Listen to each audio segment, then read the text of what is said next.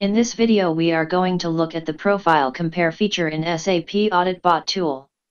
With this functionality we will be able to help us compare the profile parameter between SAP system. This will enable the company to set up the company's SAP system parameter in one system we can start comparing the SAP system profile parameter between multiple systems. If you have multiple SAP production systems then you can use this tool to make sure the SAP system profile parameters do match with the company's SAP system parameter policy.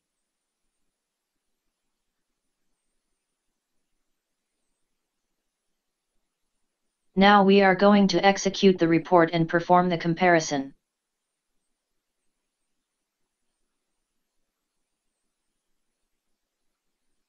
In this report we are able to see the SAP system parameter which are shown in the red indicators. These SAP system parameter do not do not match with the company policy and need to be reviewed.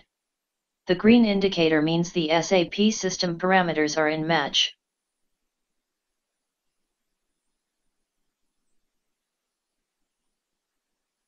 Here we are going to activate some of the SAP parameters which are going to compare. This is a AuditBot administrator setting.